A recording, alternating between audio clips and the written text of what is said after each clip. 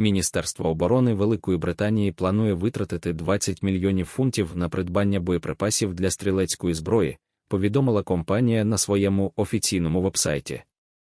Контракт на поставку боєприпасів калібрів 5,56 мм та 7,62 мм отримала компанія Bay Systems, і виконання цього контракту планується протягом наступних двох років.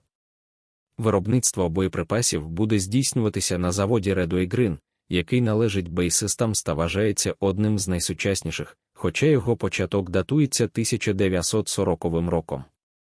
Директор підрозділу боєприпасів Bay Systems Глін Плант заявив, ми пишаємося тим, що підтримуємо Міністерство оборони Великої Британії як стратегічного партнера у постачанні боєприпасів.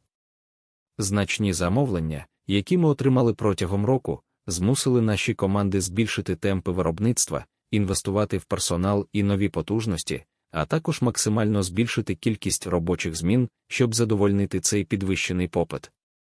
Зазначається, що реалізація цього замовлення дозволить створити понад 200 нових висококваліфікованих робочих місць.